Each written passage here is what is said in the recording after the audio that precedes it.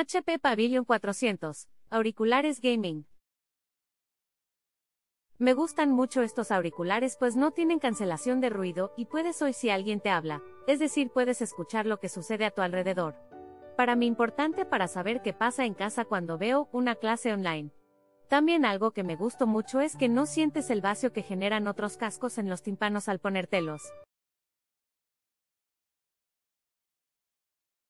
Logitech G332 auriculares gaming con cable.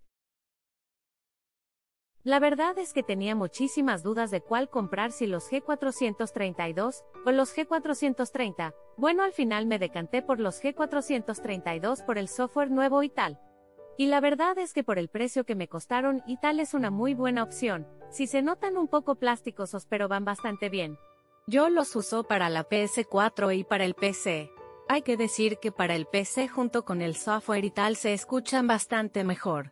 Y si tienes una aplicación en el ordenador como Dolby Atmos que mejora la calidad de sonido y tal, se nota bastante. Es un poco incómodo en cuanto a regular el volumen, pero no está mal. Y la calidad del micrófono la verdad es que es bastante buena. Antes tenía unos Triton y la calidad del micrófono era bastante bastante mala la verdad. Bastante recomendables.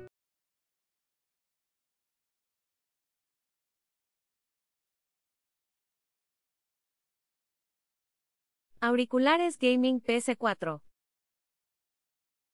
Pues la verdad que no conocíamos esta marca y nos ha sorprendido mucho para bien. Me decanté por este modelo porque parecía ligero y cómodo. Además las luces LED laterales le dan un toque molón. Para quien te vea usarlos porque claro. Jaja, y el tema de que se puedan doblar es un puntazo para ponértelos y quitártelos. Parece que no pero es más cómodo al ser flexible. Los cascos son ligeros, tengo otros que al rato se me hace pesado llevarlos pero con estos estoy comodísimo. Se puede regular la apertura para cabezones como yo y las almohadillas cumplen a la perfección. En el altavoz izquierdo se puede regular el volumen y encender o apagar el micro. Esto me parece un puntazo porque en otros modelos estas teclas están por mitad del cable y a veces no es fácil localizarlos, así que, otro punto a favor para estos cascos.